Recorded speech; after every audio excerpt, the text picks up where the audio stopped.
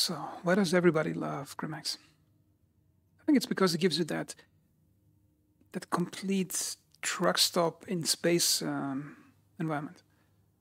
I think it comes down to two things. It's it's because it's completely seamless, well, for the most part, and that the interior sort of fills out the exterior that you can see. Let me show you.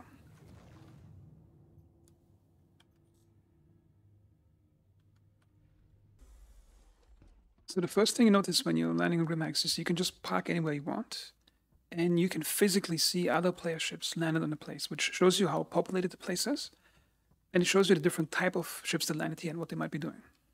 It just gives you that, that truck stop experience, like like it, it's a populated place. Like imagine in the middle of the night you're driving off a highway, and landing you're parking at the parking lot in a truck stop. You see like the music, you see the lights.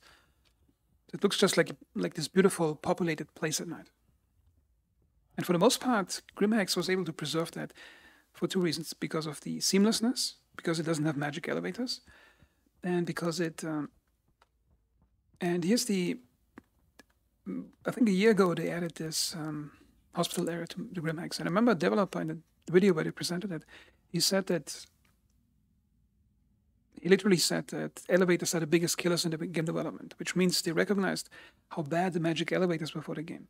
So they built this place like the rest of Grimhex. It's like physically present in the station, and any pathway to it is a physical path without any interruptions by magic elevators. And magic elevators in this case means that it's the elevators that teleport you to a certain place without having any real physical connection to the place. Okay, now let's uh, check out the, the interior of the station.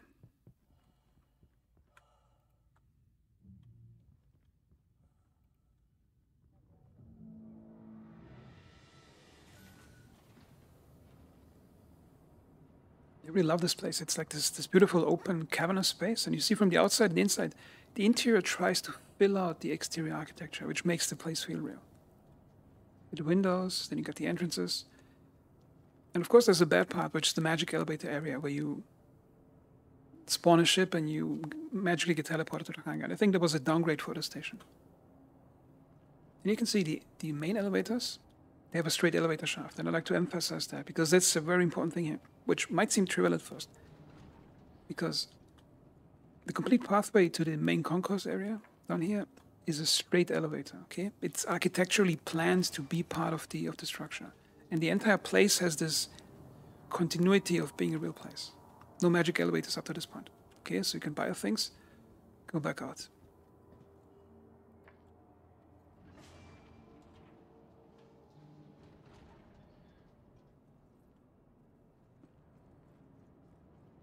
And I remember when Grimhex didn't have the hangars, then you would physically spawn your ship and despawn it on, on the landing pads like that.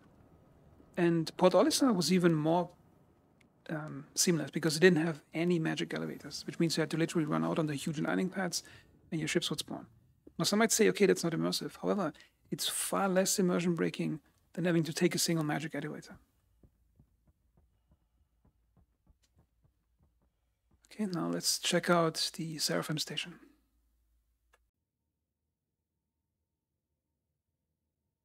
Seraphim station has several problems that Grimhex doesn't have. First off, it's the the exaggerated scale of the whole place compared to the interior gameplay space, which I think cheapens the scale. And the second problem is that the interior doesn't fill out the exterior.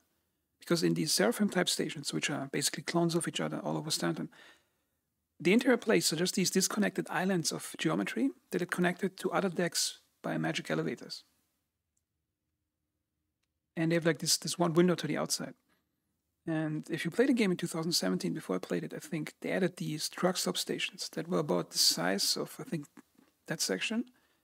They had like one window, and the interior was like this beautiful cavernous space with all the shops almost in the same area. Now imagine how they could change that. It's, exa- it's for example, let's imagine this whole station part doesn't exist. Let's just examine. You have this section, this connecting area, and another section similar to this one. And let's say you, let's say the shopping area is somewhere in this area, and you land your ship over here, or the other way around. And there's like some spaceport stuff with a large cavernous area. Doesn't have to be the whole place because that's here. It's probably about The ship is 200 meters long, so it's probably almost 200 meters tall, this building. At least a section of that should like mimic the exterior with large windows, similar to Grimhex, okay?